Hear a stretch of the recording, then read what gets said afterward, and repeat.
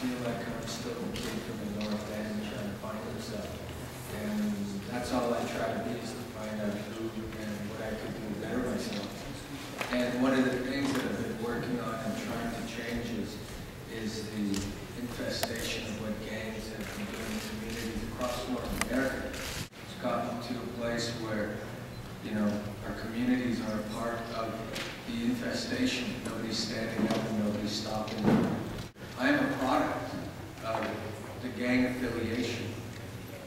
I still am that same guy, but I've taken my anger and aggression and I turned it into a positive, um, a positive thing, which is what you see here today. I ask you guys to help work with us in regards to creating a better image for a lot of these kids that are just fighting to find an identity. And that's why I'm here today with Robin.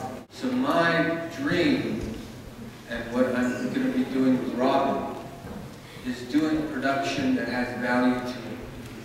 By doing PSAs that actually reach and send a message that our people are still alive and our people are still healthy. I think of people like Tommy Prince. Tommy Prince is a hero. As I see someone like Tommy Jr., at times my bodyguard, security guard when I needed it. And growing up, I've always wanted to find a hero.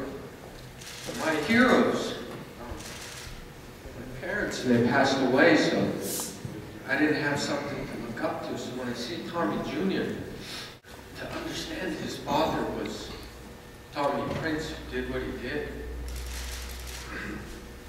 That's what I want, and I've been trying to do for the last 15 years in becoming an actor. Was fighting against the stereotypes that are out there. We still fight it today. It's embarrassing. And this is a fight we're all going to fight together. We're going to create films, we're going to create programs, we're going to create shows that's going to wind up having our young children have a better, better, better person to look up to. And I'm going to help you in every possible way we can. We're doing this thing together. Ladies and gentlemen, Adam.